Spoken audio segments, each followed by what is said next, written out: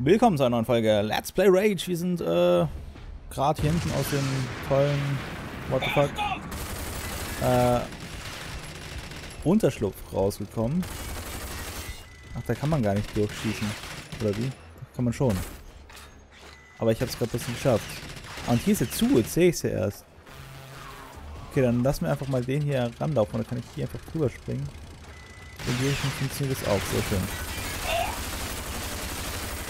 Gott, aber der hält echt viel aus, muss ich sagen. Ich habe jetzt schon wieder ein viele Headshots verpasst.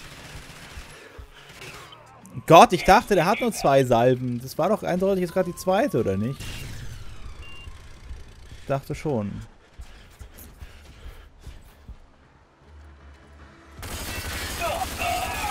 Jetzt ist er auf mich tot. So, genau. Ähm, wir müssen hier irgendwie hier wieder rauskommen aus diesem tollen Laden. Das wäre dann wahrscheinlich hier durch. Das wäre sogar mal ein anderer Weg, als wir hier reingekommen sind, glaube ich. Oder? Ich glaube schon. Ja, ich denke schon. Ich denke schon. Ähm, was haben wir hier? Ein Rope oder was? Ist ein Seil oder ist das ein Kabel? Ich bin jetzt gerade nicht ganz sicher. Aber ich denke, das werden wir sicherlich rausfinden. Ah, hier ist so eine tolle Sammelkarte. Gearhead Werfer! Yay. Was auch immer ein Gearhead Werfer, Werfer ist. Vielleicht wirft er einen um oder sind das diese komischen behinderten Leute, die mal auf einen zugerannt kommen mit ihren behinderten Fackeln. Würde zumindest Sinn ergeben. Boah, lass mich wieder hoch. Lass mich hier wieder fucking hoch. Äh, wo ist meine scheiß Scharfschützengewehrteils? So. Ich will jetzt nicht allzu viel Energie in den ganzen Schwachsinn hier reinstecken. Ja, muss er da. So. Ich muss mich hier mal praktisch ein bisschen zurückziehen, wenn die hier mit ihren Raketenwerfern durch die Gegend eiern. Raketenwerfer finde ich ziemlich unlustig, muss ich sagen. Aber wo ist denn der Kerl, der Raketenwerfer, äh, den am Start hatte? Ja, irgendwie war es ja keiner von den beiden. Die haben ja beide dann immer noch mit den normalen Waffen geschossen. Da bezweifle ich irgendwie, dass es einer von denen war. Hm, egal. Schauen wir uns erstmal, dass wir hier wieder rauskommen. Ja, hier den Schrank mal abdrehen. Ach, das ist dieser Alternativgang, den wir gesehen haben. Wo wir zuerst nicht durchgekommen sind. Okay. Dann schauen wir mal, dass wir jetzt hier ganz fix rauskommen. Und uns hier nicht noch allzu viel Scheiß entgegenkommt. Hier ist schön, dass du mich siehst. Oh, fuck you, Alter. Okay, komm. Was macht ihr da? Ihr Penner. Kann ich dem eigentlich so eine komische Dings kaputt schießen? Ich dachte, ich habe ihm gerade so eine komische äh, Schwachsinns-Ding hier angeschossen. Okay, ihn zerreißt also schon, wenn man dieses komische Ding da anschießt. Das ist praktisch dem sein mehr oder weniger Kopf, würde ich mal sagen, also Schwachstelle, wie man das nennen kann. Gut. Äh, macht die ganze Sache natürlich ein bisschen einfacher, wenn es die so lustig zerreißen kann. Hier, die Dinge haben wir schon alle geplündert, oder? Ach ne, die zwei noch nicht. Oh, noch mehr Dollars, Dollars. We need more Dollars. So, der eine kam irgendwie von hier hinten. Hier wird wahrscheinlich kein neuer Ein- oder Ausgang sein. Äh, obwohl wir eigentlich hier einfach rauskraxeln könnten und dann einfach in der Freiheit wären, müssen wir natürlich wieder den normalen Weg hier zurück in die Stadt nehmen. Wäre auch irgendwie sonst viel zu einfach. Äh, wo ging es denn hier runter? Ich glaube, es ist trotzdem mal hier außen rum. Weil ich nicht weiß, inwieweit wir sonst gleich nicht mehr zurückkommen. Aber der Ausgang, glaube ich, der war sowieso gleich hier um die Ecke oder so. Und der Utility Room, den kriegt man hier nicht auf, oder was? Das ist ja auch wieder ein Scheiß. Das, das, das stört mich hier noch ein bisschen. Man kommt nicht überall rein. Wieso kommt man hier nicht überall rein? Das geht noch nicht so ganz in meinen Kopf rein. Aber, na gut, halb so stimmt. Ah, ich glaube, hier gab es noch was drin, genau. Da sind wir ja letztens mal neu gespawnt und sind hier äh, nicht reingekommen. Ja, aber ich habe hab vergessen, hier wieder reinzugehen, wir mal so. Ähm, aber doch hätten wir das geschafft. Und ich glaube, hier kommen wir auch schon wieder nach Subway Town. Sehr schön. In das lustige Metro, Metro 2033 irgendwas Teil hier. in, in die Gegend, wo es keine Karte gibt. Minimap überflüssig sind und man sonst auch hier nichts kann. So. Es ist aber die Frage. Peng Peng tot. Du hast den Banditen gezeigt, wer hier der Boss ist. Was? Siehst Teufel? aus, als möchtest du Redstones neuer harter Bursche werden. Ich hoffe für dich, dass du länger überlebst als der letzte. Ich kann für dich auch ein harter Bursche werden. ah Gott, die haben die Wortwahl drauf. Oh, die ist zu, zu verlockend, da drauf reinzufallen. Äh, Vincent, ja, lass mich mal rein in die Subway Town. Hallo. Wie bitte? Was zum Teufel ist passiert? Ich hatte gute Informationen über das Feldtritt. Und diese Kanister sind leer. Entweder versuchst du mich abzuzocken oder jemand hat mich angelogen. Es ist ein Problem für mich. Es ist ein Problem für mich und damit auch für dich. Wenn die Gearheads ahnen, dass ich dich dahin geschickt habe, drehen sie mir den Strom ab. Wir brauchen eine dauerhafte Lösung. Ah ja, wir brauchen eine dauerhafte Lösung, um Strom zu bekommen. Stimmt, so war das ja. Deswegen bin ich da erst hingekommen. Äh, weil der sich irgendwie unabhängig von den Gearheads machen wollte. Du musst ihr Kraftwerk infiltrieren. Die Stromleitungen zu uns hier umleiten. Und dann so viele der Arschlöcher umlegen, wie du kannst. Sobald der Ort sicher ist, übernehmen meine Jungs. Problem gelöst. Problem gelöst. Aber du musst den Anfang machen. Tu das für mich. Halt mir die verdammten Gearheads vom Leib. Dann lasse ich dich in Ruhe deinen Geschäften nachgehen. Alles klar. Sind wir uns einig? Ja, ich denke schon, dass man sich darauf einigen werden kann, Gut, dass ich Leute töte und... Jetzt ein kleiner Rat. Der Caprino, den du fährst, wird nicht lange gegen das standhalten, was die Gearheads für dich im Petto haben. Ich würde mich nach etwas mit ein wenig mehr Biss umsehen. Okay, du hast auch was, oder wie? Genug geredet. Kümmer dich um die Gearheads oder ich kümmere mich um dich. Wie, also mein Caprino, der macht's gegen die nicht. Oh, mein armer Caprino. Ich werde total versagen, wenn wir Caprino nicht haben. Nein, keine Ahnung. Ähm, wollen wir mal schauen, ob wir irgendeine neue Karre bekommen. In der Regel dieser komische, lustige Kauz hier drin in dieses Soos. Dein Caprino ist nicht von schlechten Eltern, aber du brauchst eine bessere Karre mit richtig Power. Warum fährst du nicht ein Rennen?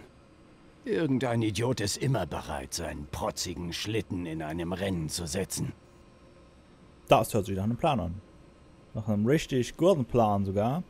Also wir sollten, also wir sollen mal wieder Rennen fahren, sagen wir so. Darunter wollen wir gerade nicht. auf die Geheimbasis, auf der Geheimbasin. Dann schauen wir mal hier runter. Das, hier kommt man nicht runter. Okay, also müssen wir irgendwo hier außen rum. Ich glaube, hier in Subway Town sind wir bis jetzt auch noch gar keine Rennen gefahren, oder? Ich glaube nicht. Wir müssen jetzt aber erstmal die Treppe finden, die hier runtergegangen ist. Die war aber auch nicht allzu weit weg hier, glaube ich. Ah, hier ist sie, genau.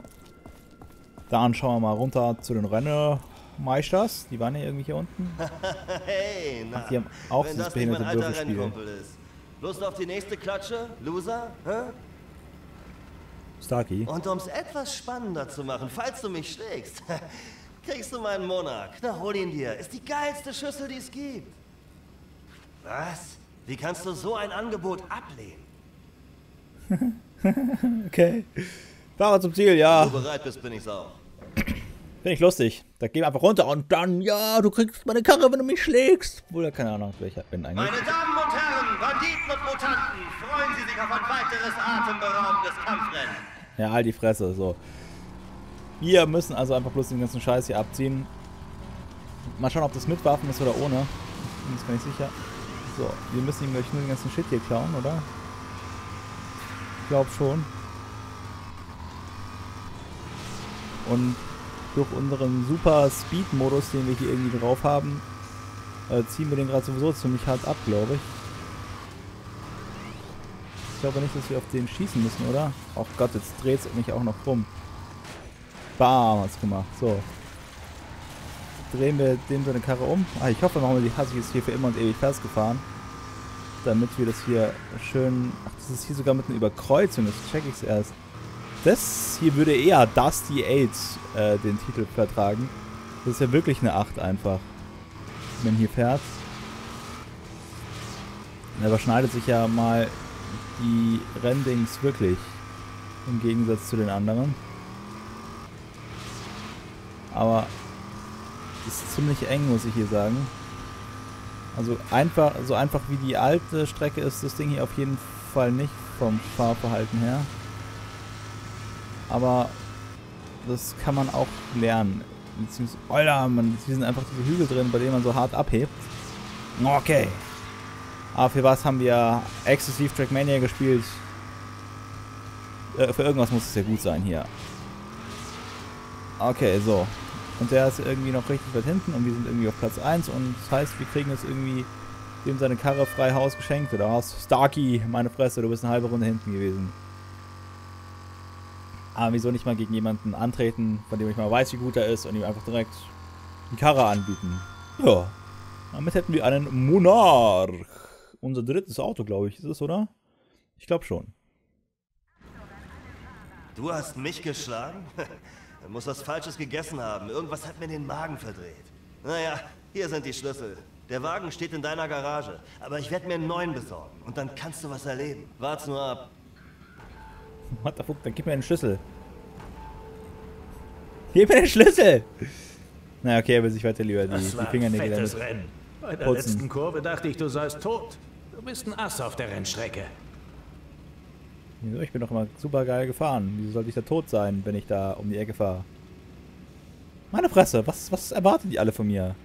Bei Sparky findest du alles, was du brauchst. Ach, das Na ist, dann hallo, willkommen bei Sparky. Hier gibt's die besten Autoteile und Upgrades diesseits von Capital Prime. Bei mir bekommst du alles, um deine Karre härter, sicherer und vor allem natürlich schneller zu machen. oh, das hört sich gut an. Sparky, zeig mir, was du hast. Äh, Was genau suchst du denn? Ein Haufen Munition. Äh, Caprino, ein Dünenjäger. Für den Monarch kann ich mir noch gar nichts leisten. Ach, stimmt, ich habe auch ungefähr überhaupt keine Rennscheine. War vorsichtig, mein Freund. Vielleicht sollten wir uns erstmal ein paar Rennscheine ver verdienen gehen. Das wäre hier noch weiter unten, oder wo ist es? Machst du die Rennen hier, Mai? Mel? Melanie, oder was? Melanie! Socke mir! Rennen sind in dieser Stadt sehr wichtig. Die zähesten und besten Fahrer ernten den meisten Respekt. Wenn du dich nicht zu dumm anstellst, lässt Redstone dich vielleicht für ihn fahren. Okay. Willst du dein Glück auf der Strecke versuchen? Oh ja, immer. Immer, immer. Was? Crash and Feuer. Das hört sich irgendwie cool an. Äh, schauen wir mal, was wir damit machen können. Äh, das ist mit dem Buggy sogar. Gott, okay, den haben wir sowieso schon übertuned bis zum Kotzen, glaube ich. Sei Zeitfahren. Sollten wir ziemlich gut drauf haben. Daher machen wir das einfach mal. Was bei 1,40 Rennsportfreund! müssen wir schlagen. Okay, mal schauen, ob das. Ach, das ist wieder diese behinderte Strecke. Gott sei Dank kennen wir sie schon. Oh mein Gott, Gott sei Dank kennen wir sie schon. Okay, das war schwachsinnig, dass ich das Ding hier mitgenommen habe. Aber man kann es ja einfach mal machen. Ah, hier gibt es ja eine Abkürzung, oder wie ist das? Gott, das muss ich mal nächste Runde gleich mal ausprobieren, diese komische Rampe. Ich hoffe bloß, die ist nicht allzu schwer zu fahren. Dass man hier praktisch hier rüber springt. Hat das das Ding ja nicht eingesammelt. Egal, dafür haben wir das Ding jetzt. Dann wollen wir gleich auch mal gucken, ob wir diese komische Sprungschanze hier mitnehmen können, die hier irgendwo geradeaus war. Ja, hier. Wow, ach du Scheiße. Irgendwie bin ich zu schnell für das Ding. Oder wie ist es? Anscheinend schon. Ich bin ja hier irgendwie jetzt gerade voll gegen die unsichtbare Wand gebrettert. Die ist ja total mies, die Wand. Die unsichtbare. Okay, das heißt praktisch, wenn ich das hier das nächste Mal fahre, dann darf ich hier nicht nochmal so hart aufs Gas steigen. Sondern einfach bloß mich rausrollen lassen, oder wie? Oh komm, wo, la wie lande ich denn? Ich sehe es nicht. Irgendwie ist dieser Sprung nicht so prickelnd. Da geht mein Auto mehr kaputt als sonst was. Aber wir müssen es, glaube ich, nur noch ins Ziel fahren. Und ich glaube, die 1,40, die schaffen wir ziemlich locker gerade. Um 15 Sekunden haben wir die Zeit fast geschlagen. Nicht schlecht. Sowas kann sich ja echt sehen lassen eigentlich. Damit hätten wir schon mal wieder unsere ersten Renntickets-Dings-Datei gesammelt. Da können wir eigentlich noch eine machen, oder? Ah ja, machen wir noch ein Rennen. Komm, Meryl, Willst du dein Glück auf der. Strecke versuchen? Ja, will ich. Re rein Kampfrennen, also äh, einfach nur gegeneinander fahren. die Leute ordentlich abdrängen und so ein Shit. Ich glaube, das kriegen wir auch wieder hin. Das hört sich ja jetzt gerade mal nicht allzu schwer an. Danach kommt bloß diese behinderte Raketenrallye, die ich total beschissen finde. Nee, Raketenrallye war ja im Kreis fahren mit dem Scheiß. Und das hier ist einfach nur die Leute überholen ohne Waffen. Jetzt fahre ich das Rennen hier rückwärts oder ist das eine andere Strecke? Ich kenne die Strecke hier nämlich gerade nicht. Aber das sieht gut aus. Was gibt es aber als Katze auf der Strecke oder was? Das ist ein Verarschen.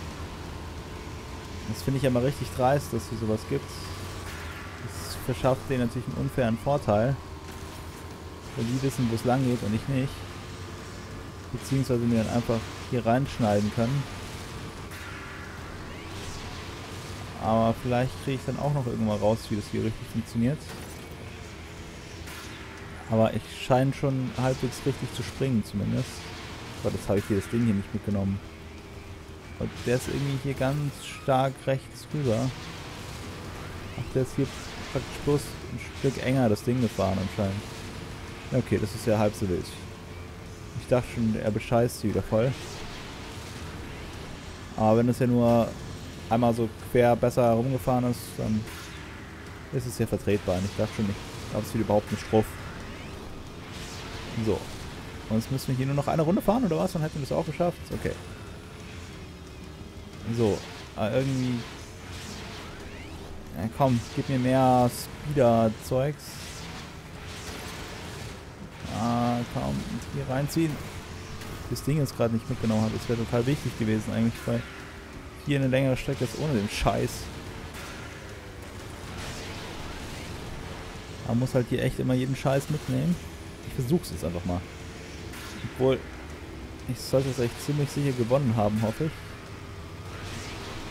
Einfach jetzt hier nochmal quer rüber ins Ziel springen. Also wenn ich hier nicht umkipp oder so, sollte das jetzt ja echt gewonnen sein. Perfekt. Erster von drei. Der, der Starkey, der fährt da auch. Der, und der Anarchy. Anarchy, Gott, das ist... Oh, was für eine lustige Andeutung. Anarchie.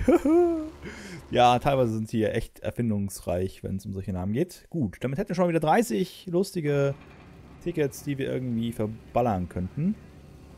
Ich glaube, wir werden hier einfach noch ein paar mehr Rennen fahren, weil das macht gerade irgendwie Spaß. Ähm, aber das nächste Rennen würde ich mal sagen, äh, fahren wir erst in der nächsten Folge. Bis dahin wünsche ich mal wieder einen wunderschönen Tag und äh, bis zum nächsten Mal beim Rennfahren. Wie bekloppt bei der, bei der Mr. Mel. Juhu. Nicht Mr., Mrs. Oh.